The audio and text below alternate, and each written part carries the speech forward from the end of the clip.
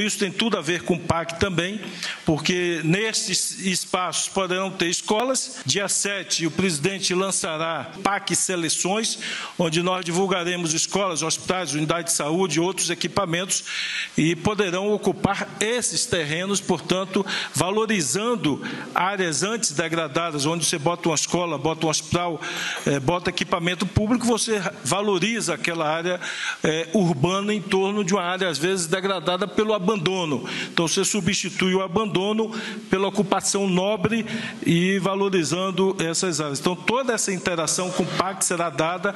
Nós buscaremos fazer esse cruzamento e nós faremos um mutirão de levantamento, cadastro e uso desses imóveis. Então, os prefeitos que pretendem construir unidade de saúde, escolas ou algum equipamento público também podem direcionar suas demandas aos patrimônios públicos de cada unidade regional.